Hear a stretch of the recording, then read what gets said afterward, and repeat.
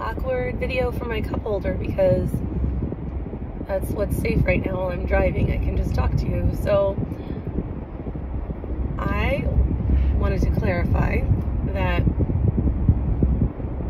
when you go to a church, if they say, come as you are, they better mean to come as you are, bring your brokenness, bring your sin, bring your shame, and come as you are. But the expectation is that you don't stay that way. You don't leave that way. You change. You become different because your mind gets renewed by the word of God. Romans 12 2 says, renew your mind. And you have to do it every single day for the rest of your life once you know Jesus because he has expectations. And although he does forgive sin, it's not a given. You have to repent, you have to ask for it, and then you have to try, try, try, try every day to live your life differently, live changed. So if you're in a church that's telling you that it's okay that you sin, it's okay that you live with your girlfriend, it's okay that you um, still go drinking on the weekends, it's okay that you lie to people or make money in a way that's, you know, on the sly, telling lies to make money. None of that's okay. Read your Bibles.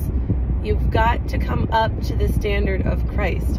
That is his expectation. You will be judged for everything that you do or don't do in your life. And so, getting salvation through Christ, calling him your Savior, is salvation, right? You remain saved by learning to make him the Lord of your life. When he's Lord of your life, it is his way, always. It is what the Bible says over what any human tells you. So please, absolutely come to church, but please, absolutely leave different every week. And throughout the week, in between days that you're in church, read those Bibles.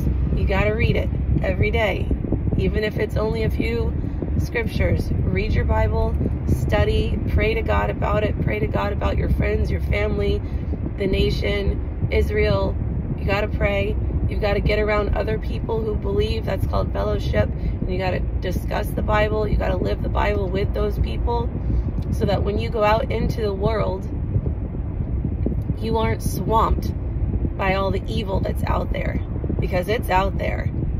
Especially right now, everybody is on edge because of an election year and we pray just like it says in scripture can't think of the scripture right now that we get an elected leader that will allow us to continue to worship our God in peace and without persecution. So that's my goal for you today is to pray, to study, to fellowship, and to worship our Lord, our Savior, our Father God with all of your heart, mind, and soul, and to know His truth and to share His truth.